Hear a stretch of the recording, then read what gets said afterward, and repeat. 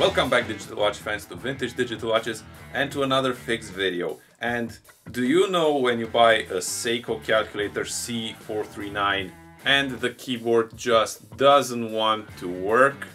Well, I think I found a fix for this problem and I know there are many uh, Seiko calcs out there, uh, C439s, that have this issue and it's such a pity because it's such a beautiful watch. Uh, do watch the video until the end. Uh, it's a two, uh, two segment video, well in the same video, but in the first part you will see the fix and right uh, before the end uh, there's a small segment of about a couple of minutes where I give you a few tips and tricks and clarify a few things. So before uh, starting with the questions below, make sure you watch that segment also because the answer to your question might be right, might, might be right there. Uh, okay, so let's go to the bench and start this fix. Yeah, so here it is on the bench and this is how the watch looks like with its front button plate removed. This would sit right there uh, and this is one of the tiny buttons uh, which is fitted from underneath like that. Now the part that is always the failure and always the reason uh, for why the front buttons aren't working is not here because that part is actually a rubber uh, frame, if you will, that has a dual role. It will hold this keyboard, this front plate into place, and it has a special shape uh, such that a button press on any of the buttons will be transferred as a press into one of those holes. And get this, it's not even depicted in the service manual for this watch but I have here something else that will make you understand how that is supposed to look like. Now this is pulled from a different calculator watch, but that rubber membrane uh, is similar in construction. So basically you would have uh, the buttons here, it would have uh, a rubber part in the middle, and you would have these small, uh, I don't know how I would call them, protrusions that would uh, go inside those holes and actually when you press any of the buttons the movement would be transferred uh, to the contacts. Now I'll try to describe briefly exactly what I want to do. Take some small uh, studs made out of plastic, I would fit them in those holes uh, so they would have to be freely moving in those holes and then I'm going to pour over them uh, some liquid silicone uh, and then I would have to find a way to fit this over. So you're going to laugh at me for what I'm going to do as plastic studs.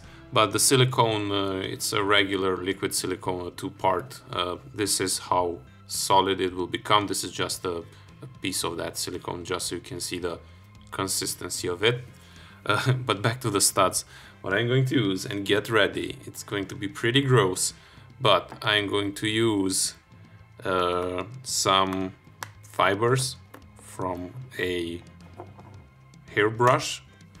Yeah, I know it's gross, but um, I think that from the stiffness perspective and the shape, they would be excellent replacements and cut them to an appropriate length.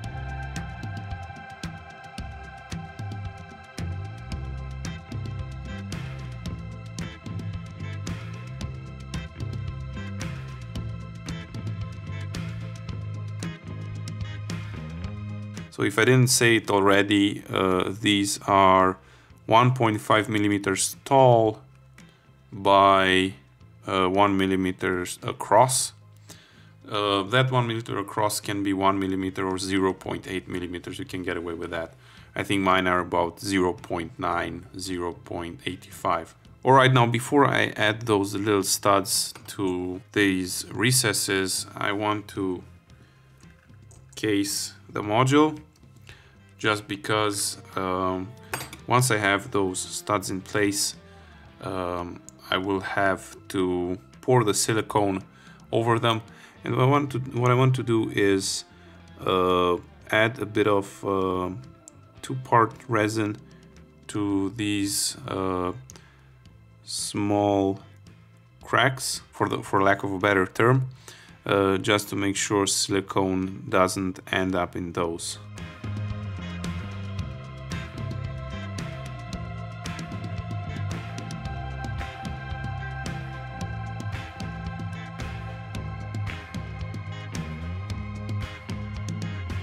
After setting in that resin, I uh, actually took it under the microscope. All the work you see here is done under 20x magnification.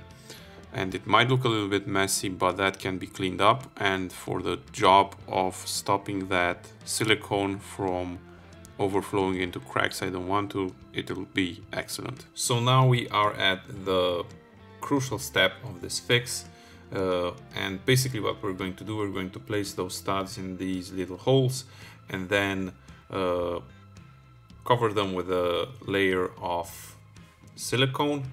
Um, I use uh, two-part silicone because that's what I have on hand and I believe it's important to be transparent because once you apply that silicone those little studs may move so you need to uh, see through the silicone and just use a needle to straighten them uh, right after the pour. Alright, so now we're going to place those little studs in the holes, uh, mix up some of this gel and apply it thin layer with a syringe.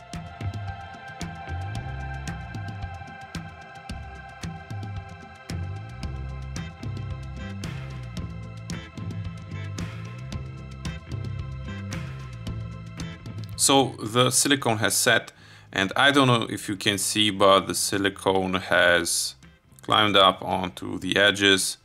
I, I don't know if there is a way to stop that from happening uh, because that's the nature of the silicone. Um, what I want to do is uh, go around with a craft knife the edge around the edge and just uh, remove that excess because uh, at this point I, the the faceplate if I'm trying to sit it here it, it doesn't it should uh, sit lower down um, but uh, because we have that silicone up on the edges uh, it won't let it sit properly.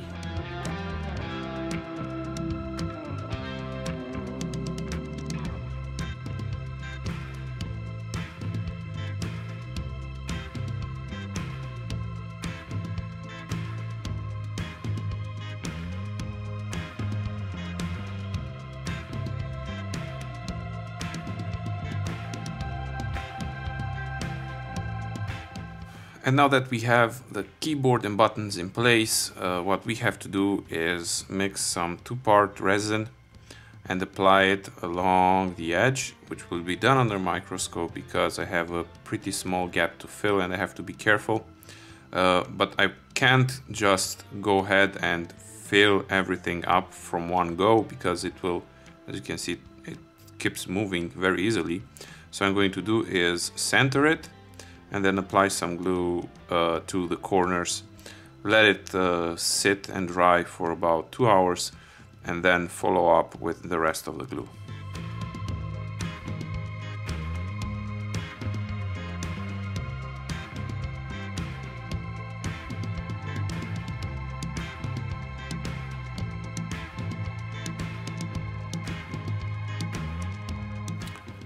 And our keyboard is looking really well and uh, situated there.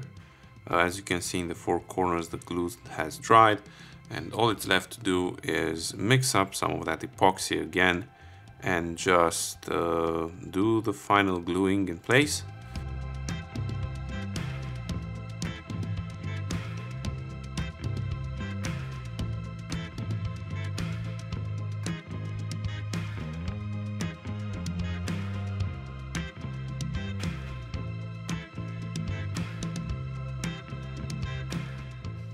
All right, so I'm done.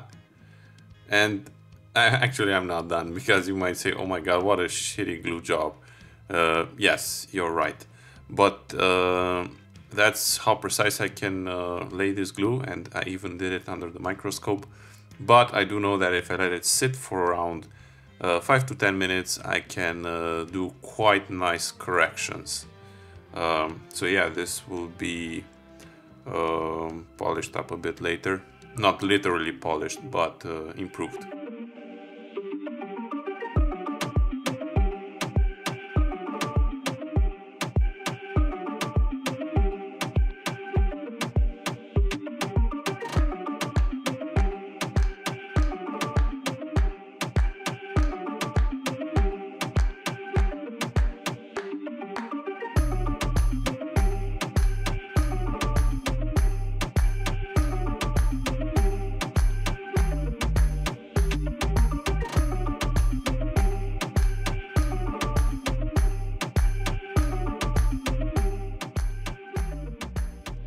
And that came out better than I expected. And this is the point in the video where I give you a few uh, tips and tricks. Uh, if you made it this far and plan to watch, then that means that you really want to do this fix. So pay attention for around three minutes. Uh, I have notes here, uh, so I'll be quick.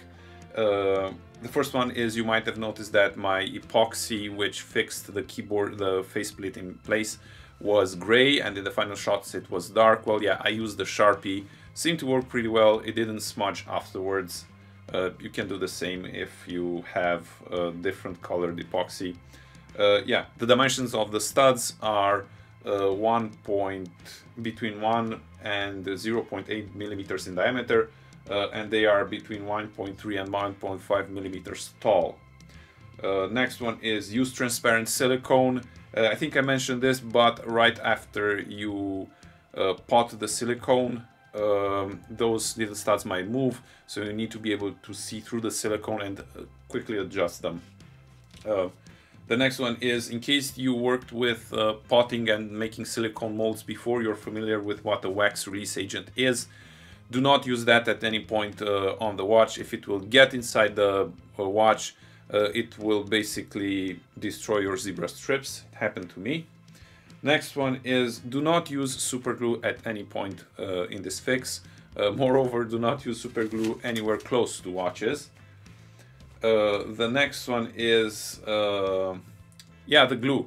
Uh, don't try to find the, the epoxy that I used. You can use any two-part epoxy that uh, cures solid. Um, another important one is you might have seen me doing this with a naked eye, but that was just so I could look at the camera's viewfinder. 80% of the work was done under microscope.